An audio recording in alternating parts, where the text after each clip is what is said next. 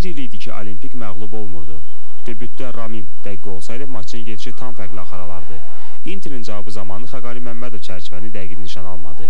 9 və 19-cu dəqiqələr təsadüf etmiş bu hadisədən sonra 29-cu dəqiqədə qol gəldi.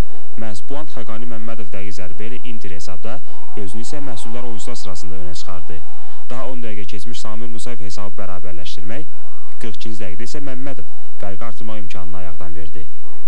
Fasilədən sonra Olimpik açıldı. Bu da nominal qonaqların müdafiə xəttində boşluğa yaranmasına gətirib çıxarırdı. Inter bundan yalnız bir dəfə istifadə etdi. Zlatinov cərimə nöqtəsindən fərqlənərək maçın 3-cü uzatma dəqiqəsi ilə başa çatmışdı. 2-0 hesablı qələbə sayəsində Inter medallara, Neftçinin isə çempionluğa şansını saxladı.